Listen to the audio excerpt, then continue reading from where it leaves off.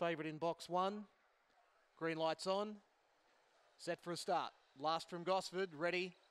Racing, Fancy Gunner only away fairly. Fast out Ellie May, Koroyd Opal going, showing speed. Just behind them, Laurie's Pet. Fancy Gunner's last out of the straight.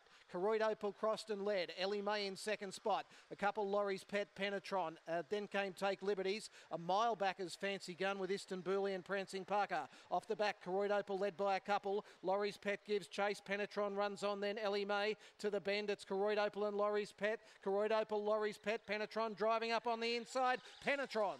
Penetron has beaten Koroyd Opal, who had a good hard look at Laurie's Pet right on the line. Next up was Take Liberties. Further back in the event, Ellie May, Fancy Gun, Istanbuli and Prancing Parker.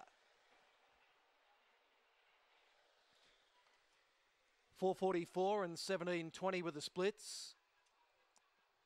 And number three, Penetron, has done the maiden to fifth grade in consecutive weeks or consecutive starts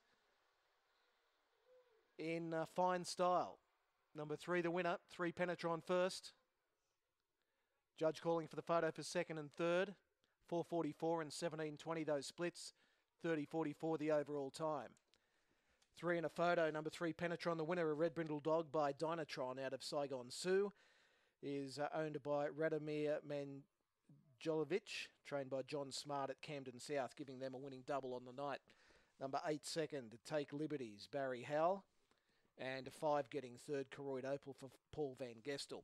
3852, 3852 are confirmed, 30 and 44, 444, 17, 20.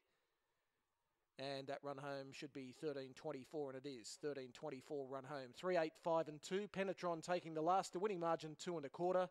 And there was a nose between second and third. Two and a quarter, a nose, 3.852 on the last.